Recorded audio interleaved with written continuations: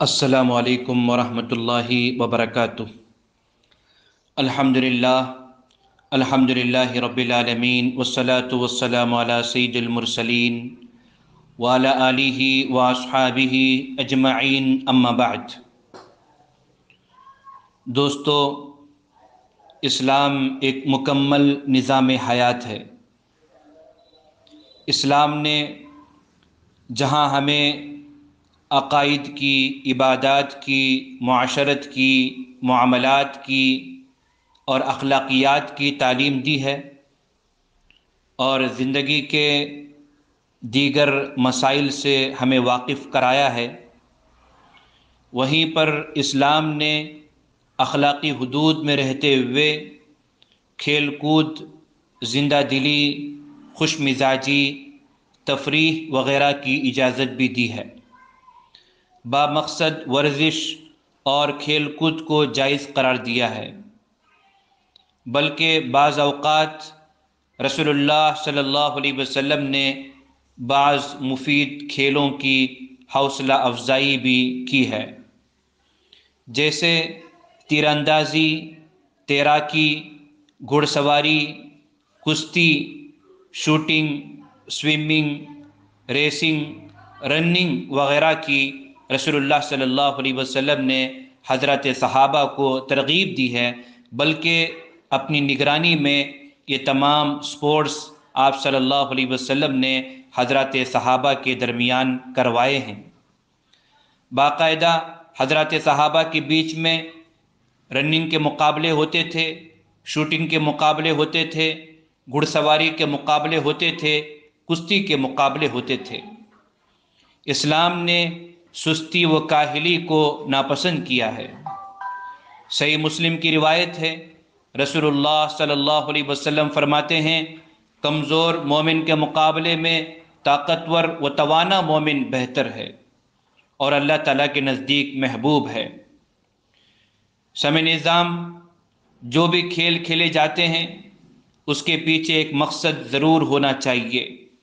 सिर्फ़ time pass मकसद न हो बल्कि नौजवानों में चुस्ती व फुर्ती पैदा करना, उन्हें एक्टिव रखना, उन्हें ताकतवर बनाना, उनकी सलाहियतों को ज़ाया होने से बचाते हुए, उनकी सलाहियतों को बामकसद कामों में लगाने की कोशिश खेलकूद के पीछे होना चाहिए। एक ज़माना था जब वालदेन और पेरेंट्स अपने बच्चों को खेल कूद से रोका करते थे, क्योंकि उमूमन बच्चे अपना वक्त, अक्सर वक्त क्रिकेट में, कबड्डी में, वॉलीबॉल में, बैडमिंटन में और दीगर खेलों में सर्फ किया करते थे। पढ़ाई की तरफ़ कम ध्यान देते थे तो वालदेन अपने बच्चों को ज़्यादा खेलने से रोका करते थे।